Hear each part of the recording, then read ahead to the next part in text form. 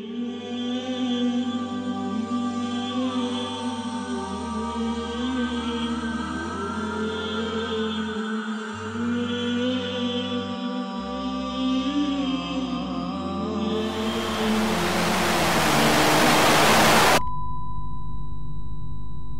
But what everyone is really talking about is the 10th anniversary edition of Who Wants to Be Millionaire.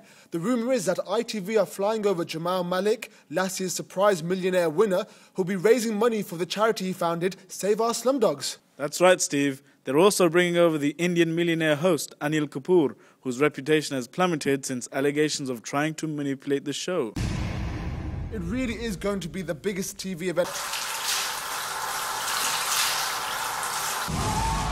सब who wants to be a millionaire के 10 anniversary edition के बारे में बात कर रहे हैं Everyone's इंडिया talking about से the 10th आखिरी anniversary साल edition के of Who Wants to चमत्कार Be a Baazigar Millionaire. The जो rumor अपने is चैरिटी ITV सेवा That's right, Steve. They're also bringing over the Indian millionaire host, Anil Kapoor, whose reputation has plummeted since allegations of trying to manipulate the show. كل واحد عم يتكلم عن اخر نسخه من فورخ اديتسي مليونير بيقولوا انه اي